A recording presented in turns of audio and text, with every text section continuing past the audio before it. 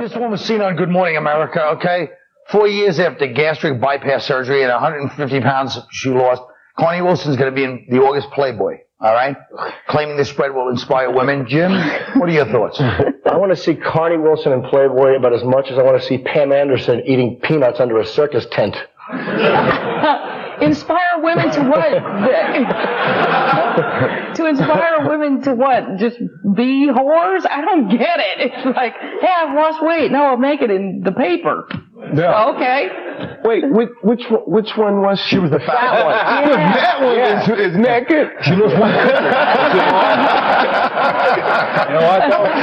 Black guys actually like that. He's pissed he lost the weight. Huh?